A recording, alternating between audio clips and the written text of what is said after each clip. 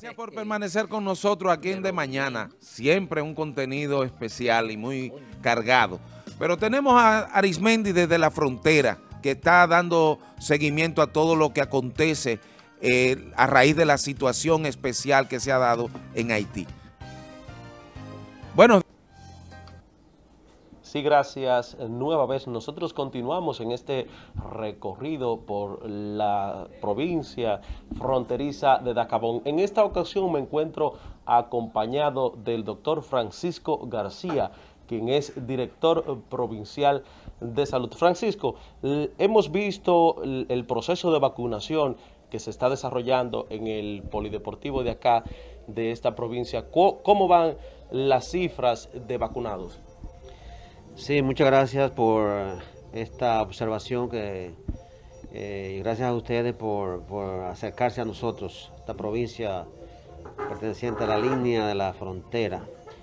Eh, hemos estado trabajando en el proceso de vacunación desde el mes de febrero, eh, compuestos en distintas partes de, de los municipios.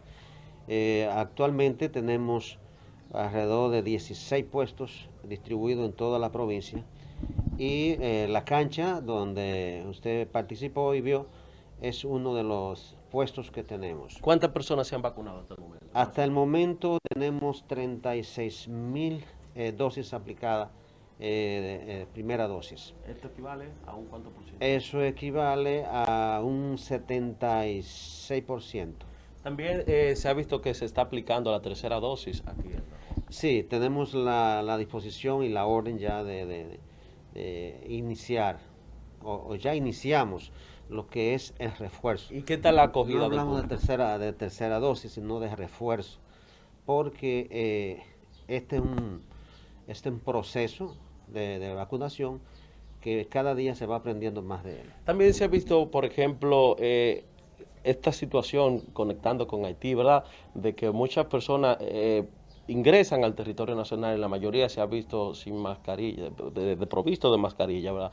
¿No pone esta situación en riesgo la salud de los municipios de Dajabón? Así es. Hemos, estado ah, eh, insistiendo en lo que es el protocolo sanitario, en las, sobre todo en, la, en, los migrantes, eh, llámese haitianos, que están, que cruzan permanentemente acá, a, esta, a este lado de la, esta provincia. Nosotros eh, tratamos de mantener ese protocolo, con, exigiendo el uso de su mascarilla, eh, que tengan el distanciamiento adecuado, eh, que se laven las manos.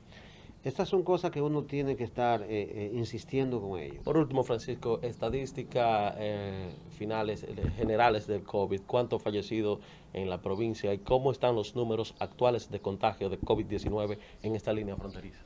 Realmente las muertes por COVID aquí en la, provincia eh, van 11 casos eh, que han sido reportados, no fallecidos aquí en la provincia, sino que han, son de aquí y han fallecido fuera, Santiago. ¿Desde el inicio de la pandemia? Desde el inicio de la pandemia. Eh, la positividad ahora mismo la tenemos en un 13%. se están haciendo las pruebas antigénicas y las PCR y estamos trabajando día a día con esto.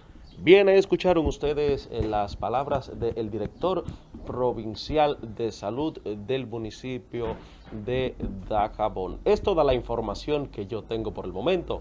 En cámara, Willy Hernández. Yo retorno con ustedes al estudio.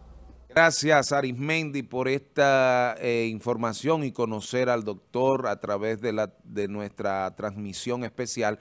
Estamos, la verdad que estamos haciendo historia, como siempre, Telenor, eh, y sobre todo conociendo de adentro y en la calle de Dajabón, la línea noroeste, eh, qué importante es tener este contacto y saludar a los amables televidentes de, de, Dajabón. Miren, aquí, aquí en el WhatsApp hay una ráfaga. De verdad. Una ráfaga de Robert Abreu que ha dicho. Quien es licenciado en Ciencias Sociales. Con él después tendré